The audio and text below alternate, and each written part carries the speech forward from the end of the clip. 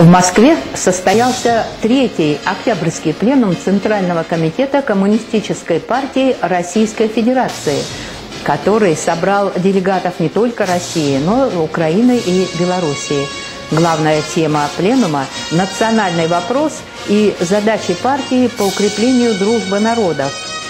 Гостей встречала выставка презентация регионов России и других братских стран – с докладом по основному вопросу пленума выступил председатель Центрального комитета Коммунистической партии Российской Федерации Геннадий Андреевич Зюганов. Уважаемые товарищи, уже в тот момент, когда Киев получил право называться матерью городов русских, наша страна формировалась как государство многих народностей. Межнациональные отношения здесь всегда были и вопросом политики государства – и предметом заботы народных масс. Не случайно для светоча русской поэзии Александра Сергеевича Пушкина было так важно ощущать себя сыном всей России. Слушайтесь ее слова. «Слух обо мне пройдет по всей Руси великой, и назовет меня всяк сущий в ней язык, и гордый внук славян и фин, и ныне дикий тунгус, и друг степей калмык». Народная культура в полной мере впитала ценности дружбы. Верному другу цены нет. Нет, имей сто рублей, а имей сто друзей. Дружба, да, братство дороже богатства. Хороший друг – лучшая драгоценность, так говорят русские, украинцы, белорусы, армяне, татары, осетины. Дружба превосходит родство, верный друг – лучше родича. Дружба рождает песню братства – Такие пословицы есть у азербайджанцев, адыгейцев, даргинцев и других народов. Язык дружбы не нуждается в переводе, добавляет к этому башкирской пословицы. Советский образ жизни в полной мере подтвердил справедливость народной мудрости, идущей от повседневного житейского опыта. Дружба людей гору сокровищ создает – утверждают тувинцы, и действительно созидательный труд стремительно укреплял могущество советской державы вопреки всем испытаниям. Если дружба велика, будет Родина крепка, эти слова родились уже в советское время, и они так созвучны с лакской пословицей «Если крепка дружба, то и Родина крепка». Понимание святости дружбы, благородства – и благотворно сказалось на характере всех межнациональных отношений в нашей стране. Общность исторических судеб прочно связала наши народы на этом фундаменте и нужно строить будущее России. Согласно переписи населения в Российской Федерации проживают представители свыше 180 народов. Ряд официальных документов упоминает более 190 наций и народностей. Три главные задачи решали противники власти Советов в годы так называемой перестройки. Подорвать единый народохозяйственный комплекс, возбудить антикоммунизм, посеять национальную рознь. Эти процессы всячески подпитывали те, кто жаждал уничтожения СССР, результаты их деяний известны – Разрушение единой хозяйственной системы вызвало затяжной экономический кризис. Разгул антикоммунизма подвел к запрету правящей партии, скрепляющей всю систему управления и обеспечившей целостность страны. Национальная рознь породила недоверие и конфликты между народами, способствовала разделу единого государства. Угрожающие схожие тенденции наблюдаются и сегодня. Экономический кризис в стране обостряется – Антисоветизм по-прежнему отравляет души людей, межнациональные отношения превращаются в клубок все более острых и запутанных противоречий. Видя все это, мы посвящаем сегодняшний пленум национальному вопросу и задачам партии по укреплению дружбы народов. Готовясь к нему Центральный комитет продолжил практику предварительной публикации выносимых на обсуждение докладов. Это особенно важно, учитывая серьезность и остроту темы, Отзывы на доклад продемонстрировали, что коммунисты поддерживают оценки и выводы Президиума ЦК. Подтвердило это и обсуждение темы «Национальный вопрос современной России» на круглом столе в редакции газеты «Правда». Далеко не каждая политическая партия отважится сегодня включить в повестку дня вопрос о межнациональных отношениях. Только та партия, которая имеет опыт выстраивания этих отношений, пожалуй, э, может сказать, что ей это по плечу. Поэтому сегодняшняя повестка дня, она не внутрипартийная. Она общая, она общенародная, она волнует всех. Я даже не побоюсь этого слова, она межгосударственная. Можно по-разному относиться к Ленину, можно по-разному относиться к Сталину. Но мне кажется, ни у кого не повернется язык э, не признать того факта, что именно эти люди не только в теории, о чем писали Маркс и Энгельс, но и на практике впервые воплотили замечательный тезис о том, что человек человеку друг. И вот этот принцип пролетарского интернационализма, он впервые был воплощен в жизнь в Великом Советском Союзе. Поэтому все выступления, э, которые сегодня звучат с этой трибуны, трибуны, они заканчиваются одним пожеланием и верой в одно, что мы восстановим великое союзное государство, мы обеспечим вообще счастливое будущее всем людям труда, их детям и их внукам. За это мы, коммунисты, и боремся. Серьезной угрозой единству многонационального народа является разрыхление его русского ядра. Легитимизация сепаратизма зачастую идет под лозунгом возрождения особой региональной идентичности. В Ростове-на-Дону уже проводилась конференция по проблемам формирования южно-русской идентичности. Спонсорами являлись организации США, а докладчики из Польши и даже Украины обсуждали способы раскола национальной идентичности русских. В Сибири действуют группы, призывающие выделить этот регион из состава страны. Охотническая, областническая альтернатива прямо утверждает, что Сибирь, как колония России, имеет право на самоопределение вплоть до деления. Слышу дискуссии на одном из радиоканалов, уважаемая особа говорит, это хорошо, если Россия развалится по Уральскому хребту, отделиться. Для этой особы специально, хочу заявить, идет прямой репортаж. Она поклонница американского образа жизни. Если бы она сделала это заявление в Соединенных Штатах Америки, ее бы вечером арестовали, а на утро описали бы все имущество отняли. Я как-то американцев спрашиваю, почему у вас такой суровый закон? Даже словесные призывы к расчленению страны караются огромными тюремными заключениями. Они говорят, а вы вдумайтесь сами. Аляску мы у вас задарма получили. Манхэттен принадлежал голландцам, Флорида принадлежала испанцам, а два штата, Нью-Мексико и Техас, мы отхватили у Мексики. Если мы кому-то разрешим хотя бы говорить о том, что надо расчленять страну, мы завтра развалимся. Поэтому мы должны внести предложение, наши депутаты, что даже словесные призывы к расчленению единой и неделимой России будут караться тюремными заключениями.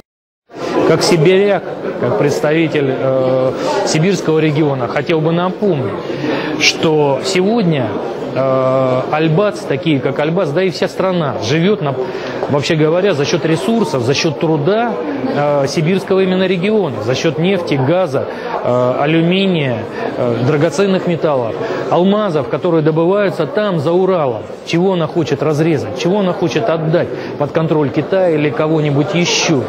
Речь идет фактически о том, чтобы уничтожить Российскую Федерацию от лица сибиряков от лица э, всех граждан Российской Федерации я вообще требую извинений за подобные высказывания.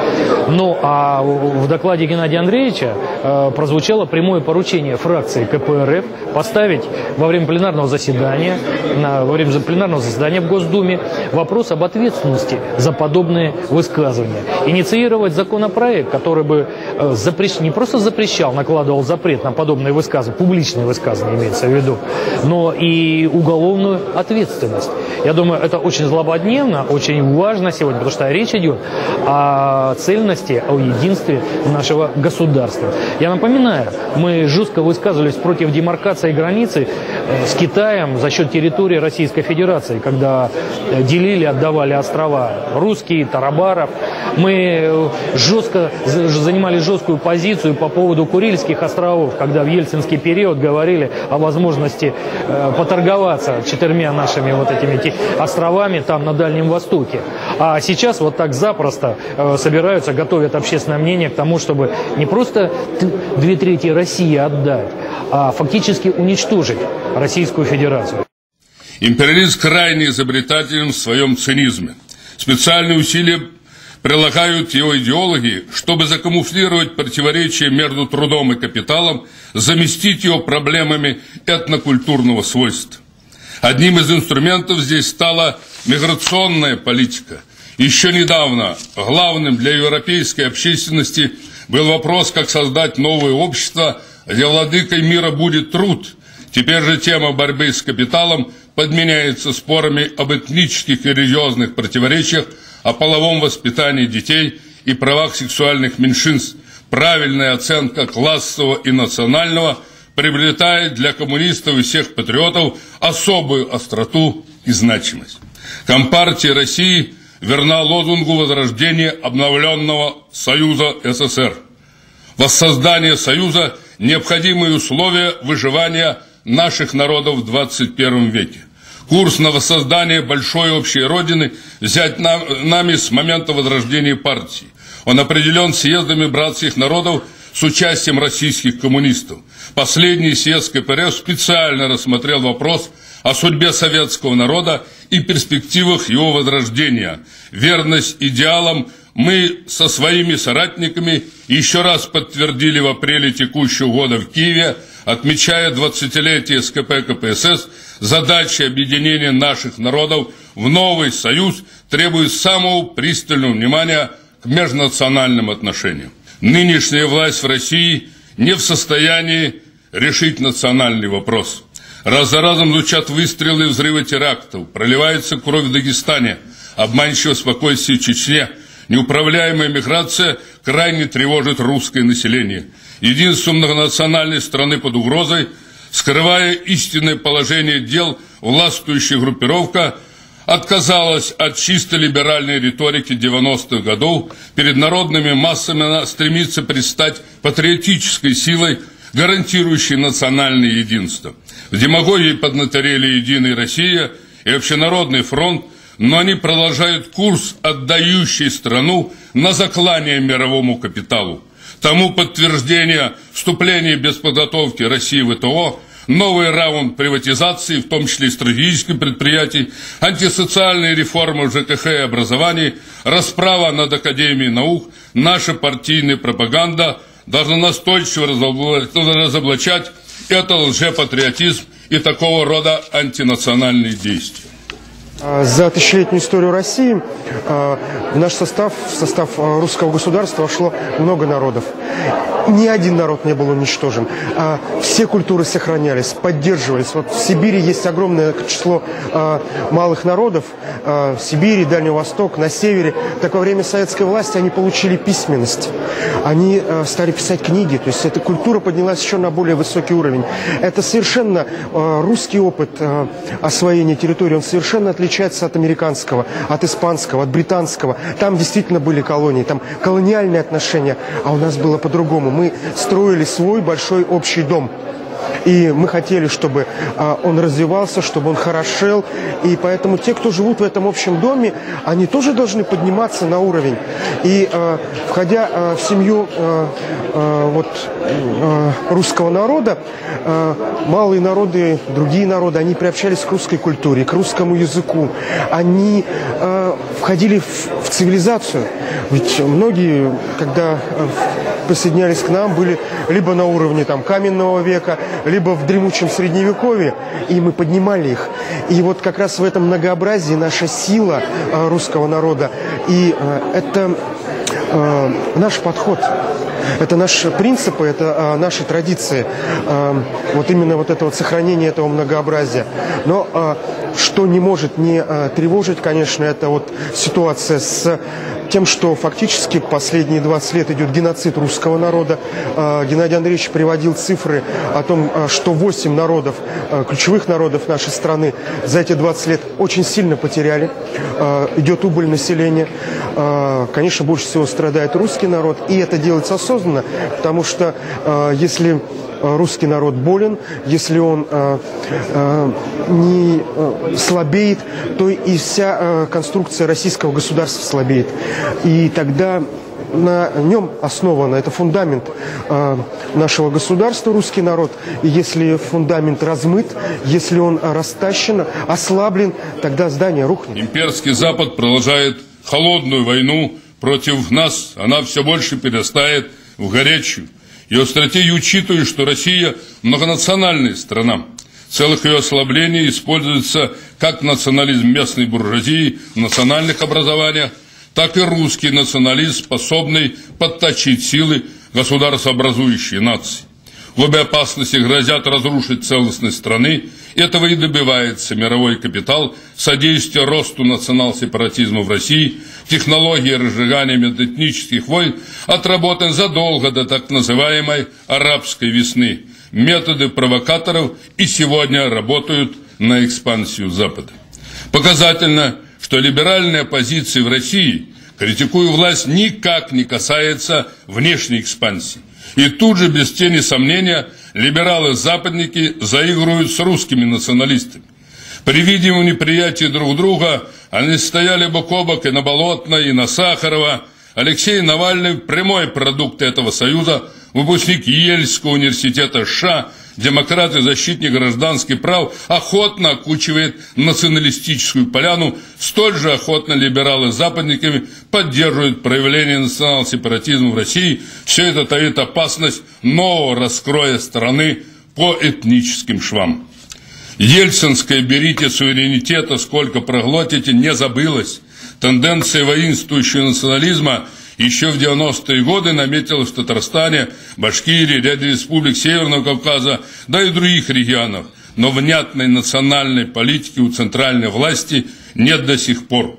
В прошлом году указом президента утверждена стратегия государственной национальной политики до 2025 года. На ее основе появилась федеральная целевая программа укрепления единства российской нации и этнокультурное развитие народа в России. Но вся эта программа обойдется властям в 230 раз дешевле, чем Сочинская Олимпиада. Посмотрите на бюджет, там не нашлось день, даже денег на поддержку русского языка, а знающих русский язык за эти годы сократилось на 150 миллионов человек на планете. Для сглаживания национальных противоречий правящие круги идут простым, но опасным путем – заигрывают с местным национализмом. Льготное финансирование отдельных республик призвано умиротворить их знать. На рабочих и крестьян, имеется в виду, привилегии эти не распространяются. Но элиты возбуждают национализм, который нередко мешает угнетенным низам увидеть все это. На таком фоне вбрасываются провокационные предложения выделить отдельные республики из состава России – в общественное сознание внедряется идея неизбежности изменения государственных границ. К сожалению, у нас в России, в Российской Федерации нет национальной политики. Ну и, соответственно, э, достаточно много проблем. В стране, в которой проживает почти 200 народов и народностей, конечно, должна быть соответствующая национальная политика. Но это одна беда. Другая беда, на мой взгляд, это то, что э, с моей страной, с Российской Федерацией, сейчас проводится ту же самую работу, которую проводили с Советским Союзом по разрушению. Мне, ну не только мне, а многим понятно, что э, те процессы, которые проводятся именно в национальном вопросе, проводится для того, для того, чтобы разрушить Россию. И я бы хотел, используя эту возможность, обратиться к думающим людям о том, что вот та тенденция, та политика, которая сейчас проводится правящим режимом, придет к тому, что Россия, извиняюсь за выражение, но скукожится до Московской области. Всем разумным людям нужно сделать все для того, чтобы эту тенденцию разрушить и наоборот привести к тому, что не на словах, а на деле возродить наш любимый, родной, великий, могучий Советский Союз. Вот мы идем с вами к 70-й годовщине Великой Победы советского народа над немецко-фашистскими захватчиками. Но вот, к сожалению, я сейчас под сомнением, что если бы сейчас напали фашисты на нашу родину, победили бы мы или нет? Нравится это кому-то или нет, но это факт. Например, на знаменитой фотографии, когда водружается красное знамя над Рейхстагом, изображен чеченец. Это исторический факт. Смысл не в том, что там, я принадлежу к чеченцам, и, наверное, мой народ наиболее пострадавший после развала Советского Союза. Мне очень не хочется, чтобы на моих глазах и мои друзья, дети и родственники жили на развалинах Российской Федерации. Россия стала жертвой финансовой олигархии. Наш 15-й съезд объемно показал картину современного мира, его проблемы и противоречия. Финансовый капитал утвердился в качестве главной силы мирового империализма. Независимость большинства государств под угрозой, их национальное богатство – объект вожделения мировой олигархии. Для владения им провоцируются псевдореволюции, разжигаются противостояния между народами и конфессиями, глобалисты настойчиво реализуют планы установления нового мирового порядка. Начатый новый этап колонизации России. Ее капиталу не оставляется особых перспектив. Не замечать этого власти уже не могут. Вот почему на Валдае президент Путин говорил, что мир становится все более жестким, что международное право нарушается, что, для однополярной модели мира нужны только вассалы. Он призвал граждан искать общие цели развития, сохранить культурно-духовный код нации и гордиться своей историей. Признание Путина достойны полного пересмотра проводимой политики. Но слова, похоже, опять остаются словами. Уже через неделю премьер Медведев вновь требовал распродажи остатков госсобственности в Сочи на международном форуме. Либеральная колея власти все глубже погружает страну в трясину кризиса. Безработица одних, нищенские заработки для других, урезание социальных гарантий для всех – в такой обстановке живет сегодня наш народ.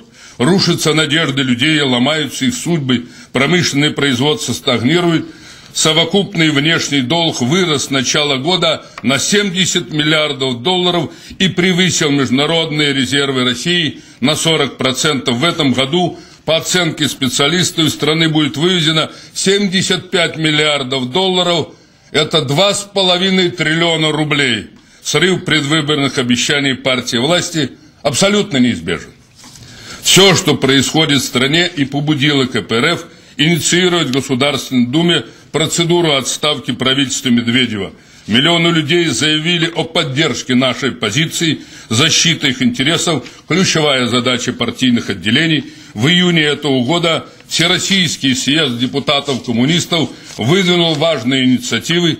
Они легли в основу нашей законотворческой деятельности в центре и на местах. Так фракция КПРФ в Думе предложила проект закона о промышленной политике – то есть о новой индустриализации страны. Мы его недавно представляли на Национальном конгрессе и на клубе торгово-промышленной палаты, где получили самую широкую поддержку промышленников, конструкторов и представителей делового национально ориентированного бизнеса. Для поддержки таких шагов нашим активистам-сторонникам следует использовать широкий арсенал всех средств, от пресс-конференций до проведения митингов и других акций. Задача текущего момента – продемонстрировать обществу. На следующий год власть предлагает бюджет катастрофы. Он отбрасывает страну на 10 лет назад. По сути, убиваются все точки роста, даже то, что они создавали сами последние годы. Правительство крайне заинтересовано принять этот беспрецедентный, бессовестный бюджет без развертывания обсуждения – Многие важные статьи расходов просто идут под нож. Вся созданная промышленность, по сути, убивается, она не получает никакой поддержки. Все это крайне скажется на жизни граждан. Э, сегодняшний пленум основным вопросом рассматривает национальный. Это вопрос, который, к великому сожалению, в нашей стране становится все более острым и все более актуальным. И э, те аналитические и цифры, и теоретические разработки, исторические экскурсы, которые были сделаны в докладе и затем э, в выступлениях других наших членов Центрального комитета, они говорят о том, что э, все, что э, сегодня происходит в нашей стране, с нашей стороны очень глубоко теоретически и э, исторически проанализировано. Другой вопрос, что, к сожалению, э, сегодняшняя власть, сегодняшние руководители разного уровня, в том числе и самого высокого государства, к сожалению, ведут себя э, таким образом, как будто они и не жили в советское время, и не видели этой реальной дружбы народов, которая у нас в стране была и которая Э, вот в самом таком концентрированном виде была показана во время Великой Отечественной войны, когда люди защищали наш общий дом, Советский Союз, и при этом не обращали внимания на то, э, в штыковой атаке, кто с тобой рядом бежит, какой национальности, и оба сражались и умирали за наш общий дом. Я глубоко убежден, что сегодняшняя наша власть она уже много раз нам всем показала, что э, те предложения, которые мы вырабатываем, я имею в виду наша партия, они не могут быть восприняты этой властью. Просто у них э, другая, другая ментальность и другое мировоззрение. Речь идет не об образовании. Речь идет о том, что они совершенно другого склада люди, которые считают, что э, все могут решить деньги. И э, национальные вопросы они решают при помощи денег. Если где-то что-то загорелось, если где-то какой-то конфликт проявился, они сразу бросают туда деньги. Но э, дело в том, что эти деньги, которые бросают на якобы разрешение национальных конфликтов, они как раз играют роль топлива, потому что они прежде всего оседают в карманах чиновников или новоявленных буржуев, которые сегодня руководят и всем государством, и этими национальными республиками. И они начинают понимать, что если мы будем центр, э, федеральную власть шантажировать, вот нашими э, обостренными межнациональными отношениями, тем более э, мы можем достичь того, что эти деньги к нам будут появляться. То есть такое какое-то время все э, утихает, успокаивается, а потом с новой силой начинает. Это вот такой изощренный шантаж центра. И э, так как сегодняшняя власть других способов и других, и других методов не знает и не приемлет, э, то ситуация э, возрастает вот так вот по восходящей линии с каждым, к сожалению, годом и с каждым месяцем, потому что не проходит и э, месяца, не проходит и недели, как, как не возникают такие конфликты, когда уже простые люди начинают брать в свои руки организацию порядка у себя на территории, как это произошло вот в последнее время, к сожалению, значит, в Москве. И то же самое происходит во многих других территориях. Это говорит о том, что сегодняшняя власть не способна решить национальный вопрос. Для подавления пролетарского интернационализма власть большинства стран СНГ поддерживает национализм тайно и явно, прямо и косвенно. Буржуазным кругам любо и дорого все, что имеет антисоветский и антирусский окрас. Сегодня наши товарищи из Компартии Украины – под руководством Семененко энергично противостоят националистам, выходка которых уже виден звериный оскал фашизма. Антисоветизм, антикоммунизм русофобия прочно поселились в Литве, Латвии, Эстонии. Этими же настроениями пропитана нынешняя верхушка в Молдавии.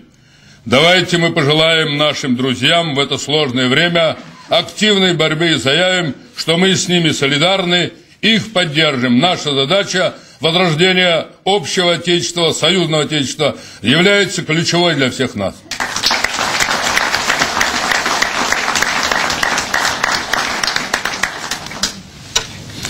Неофашизм поднимает голову, как и накануне Второй мировой войны, финансовая олигархия лелеет нацизм и держит его про запас. А претензии на исключительность США – Американские ястребы высказывают уже открыто и даже агрессивно. Не удержался Обама от этого, выступая с трибуны ООН. Дело, в деле противодействия реакции у нас с вами много работы. Борьба коммунистов с национализмом получит успех, если будет интернациональной. Чтобы остановить зло, необходима опора на международную солидарность.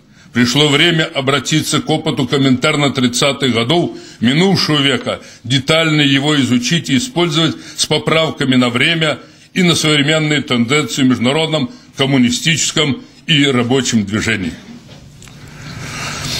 В истории партии национальный вопрос не раз становился центром горячих дискуссий. Особую остроту они приобрели в конце 20-х, начале 30-х годов минувшего века. На тот момент ВКПБ определились два уклона в национальном вопросе. В сторону великорусского и в сторону местного национализма. Их буржуазный характер был скрыт Сталиным в докладе 16-му съезду партии в июне 30 -го года. По Сталину суть уклона к великорусскому национализму состоит в стремлении обойти национальные различия языка, культуры и быта, в стремлении подготовить ликвидацию национальных республик и областей. Уклонисты были готовы покончить с национальной культурой народов СССР, перейти к политике ассимиляции. Сталин без обиняков заявил, цитирую, «Не может быть сомнения, что этот уклон в национальном вопросе – прикрываемый к тому же маской интернационализма и именем Ленина, является самым утонченным и потому самым опасным видом великорусского национализма. Он убедительно разоблачил ревнителей показного, пустого интернационализма, ничего общего не имеющим с интернационализмом пролетарским. Резкую отповедь дал Сталин и тем, кто видел устройство СССР по типу царской, царской губернской России – без национальных республик. Сегодня отрыжкой царских времен стала риторика Жириновского. Предлагается примитивный сценарий ликвидировать национальные республики округа, установить губернское управление. Тогда, дескать, в государстве установится твердый порядок. Но ведь до 17 года деление на губернии не защитило Россию от крайнего обострения национального вопроса.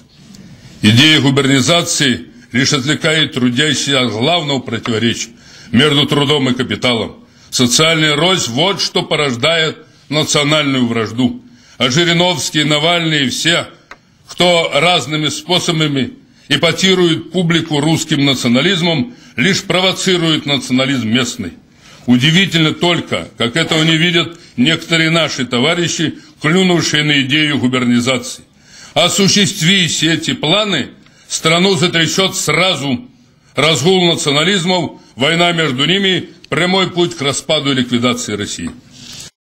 Национальный вопрос это один из самых тревожных вопросов, который волнует общественность э, России в настоящее э, время.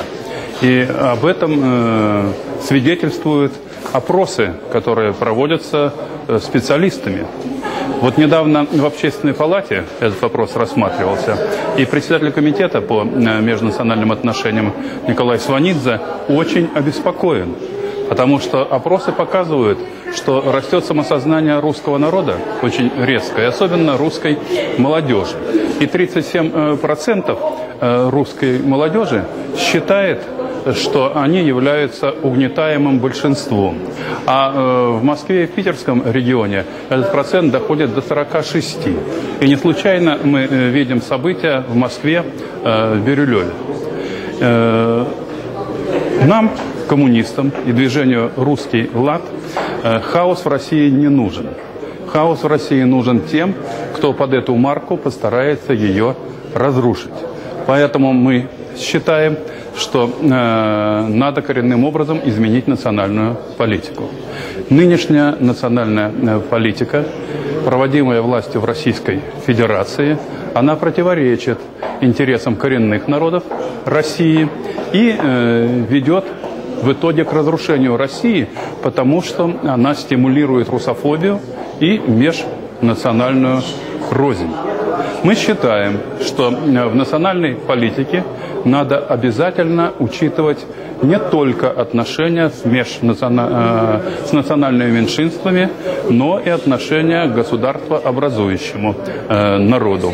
Россия, в отличие от Советского Союза, по критериям Организации Объединенных Наций, это моноэтническая страна, потому что русских проживает 80% в Российской Федерации, но это и многонациональная страна, потому что остальные, 100, э, остальные 20% это 100, э, люди 193 национальностей. И, естественно, мир э, необходим. Нужно, чтобы была дружба э, народов.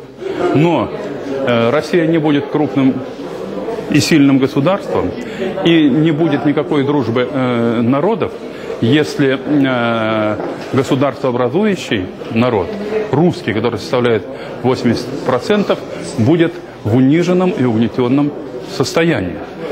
Э, русский э, народ, он э, постепенно лишается земли путем миграционной агрессии.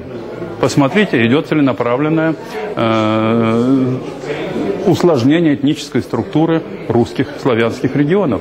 Туда направляются э, люди разных э, национальностей, а одновременно идет э, процесс выдавливания русских всяческими путями из национальных республик. Это э, угрожает национальной безопасности России.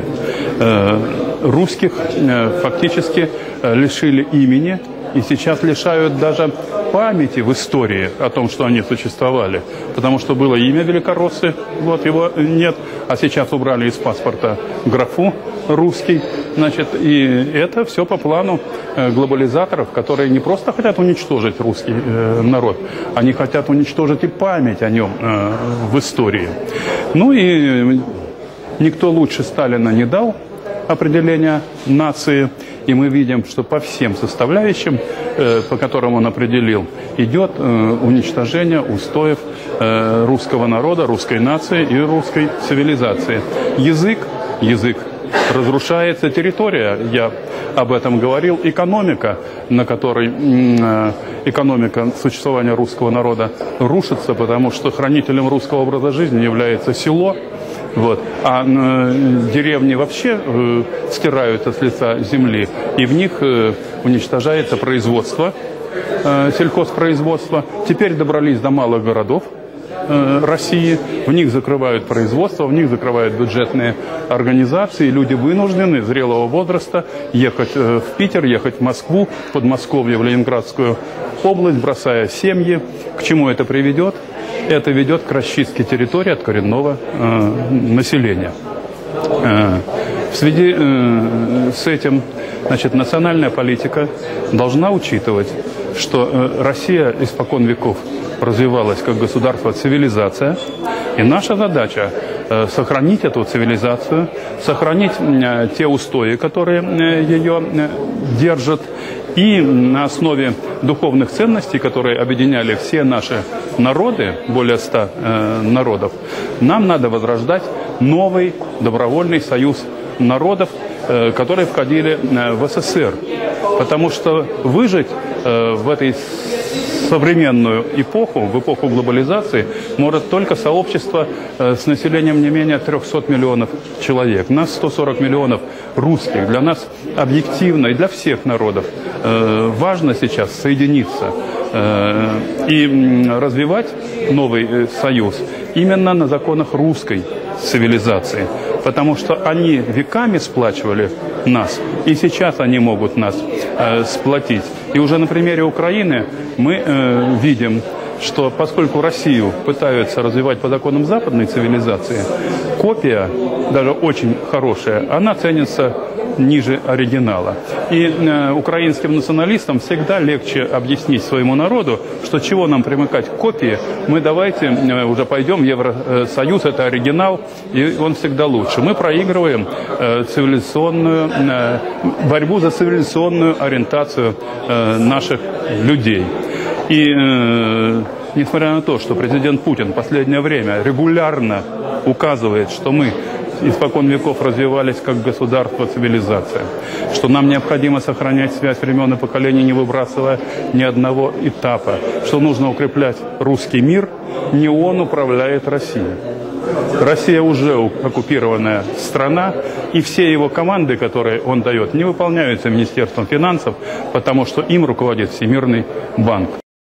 Я считаю, что это а, одна из основных проблем нашей страны, не только КПРФ, как партия, но страны в целом. Более того, проблема ее выживания, сказал бы я так. Ибо она наиболее остра, и, ос, э, и острота с каждым днем увеличивается. Почему она увеличивается? Только потому, что нет общей объединяющей идеи, которая сплотила бы или объединила те многочисленные народы и народности, те языки, которые живут в нашей стране. Ведь что было при советской власти? Так сказать, наши противники говорят, плоха, она нехорошая советская власть была. Может, она, конечно, была и нехорошая с их точки зрения, но она была объединяющей идеей на протяжении 80 лет. Более того, из-за этой идеи мы выиграли самую страшную войну в жизни человечества. Гитлер рассчитывал на, на две вещи. На то, что мы не успеем перенести промышленность за Урал, и за то, потому что мы развалимся как на, на, на национальность. Этого не случилось, ибо была та самая идея, кстати, из-за которой победила эта советская власть. Что было у э, большевиков? Ничего, Антанта помогала не нам. Антона помогала белым. Почему же белые проиграли? Да потому что у нас была идея, и эта идея была 80 лет. Сломали ее. Кстати сказать, не только изнутри, но и снаружи помогали очень сильно. Ну, изнутри, так сказать, предатели, сказал бы я так. Потому что сломать Советский Союз можно было только отсюда, изнутри ее можно поломать, при помощи, конечно, нехороших людей на Западе сломали ее. И что же сейчас определяет, то есть объединили страну? Отвечаю, глядя прямо вам в глаза, ничего, кроме полиции и чиновничества. Чиновничество потому что увеличивается, естественно, поэтому оно увеличивается, и коррупция увеличивается. Ну и бюджет на, так сказать, полицию увеличивается каждый, каждый, каждым разом все больше и больше. Вот это, но это вечно продолжаться не может. Выход – один. Вы спросите меня страшный вопрос, а что? Я так могу думать. Выход только один. Социализм. Причем не только для нас, но и во всем мире. Я вас уверяю, что рано или поздно это будет. Да посмотрите, Китай. Казалось бы, ну вот там вроде как уже и нет социализма. Нет, он есть, ибо лозунги эти живут. И не будет этих лозунгов, Китай развалится через 20 минут. Ибо там так же, как и у нас, есть Южная Монголия, есть юг, не понимающий языка севера масса всяких вещей, но общая идея их объединяет. Хотелось бы, чтобы наша страна объединяла также этой же идеей. Высокую цену платит Россия за периферийный криминальный капитализм. Социальное разделение общества породило и национальный раскол. Вспыхивают межнациональные стычки, усиливается недоверие народов друг к другу, растет угроза государственной целостности. Коммунисты убеждены, укрепить Россию дружбой народа, значит социалистически преобразовать нашу страну. Антикризисная программа КПРФ предполагает движение вперед к великой цели возрождения России. Мы готовы сделать это на основе развития наукоемкого производства, создания передовой промышленности и сельского хозяйства. Наши подходы обеспечат эффективное использование природных богатств страны. Планомерное использование трудовых ресурсов избавит от перекосов в развитии регионов, позволит обуздать стихию миграции. Мы отвергаем план уничтожения малых городов и намерены дать им вторую достойную жизнь. В передовом образовании и здравоохранении видит КПРФ залог неуклонного повышения качества жизни граждан. Мы вовлечем трудящихся в управление страной в процесс созидательного преображения нашей великой Родины. Да, наша партия выступает за мирный переход к социалистическому развитию. Но наши требования национализации капиталистической собственности в базовых отраслях экономики носит революционный характер. Обновление социализма 21 века – такова общая, обновленный социализм 21 века – такова общенациональная идея, которую мы предлагаем – только воплотив ее жизнь, мы решим вопрос о собственности власти. Только на этой основе утвердится социальная справедливость и будет решен национальный вопрос. Наши помыслы чисты, идеалы светлы, а предложения проверены временем. Реализация программы КПРФ гарантирует развитие России без кризисов и войн. Она обеспечит торжество дружбы народов и достойную жизнь нашим гражданам. Тогда гордость за свою страну поселится в сердце каждого человека. Да здравствует обновленный социализм, подлинно национальная идея для нашей страны, для нашей любимой Родины.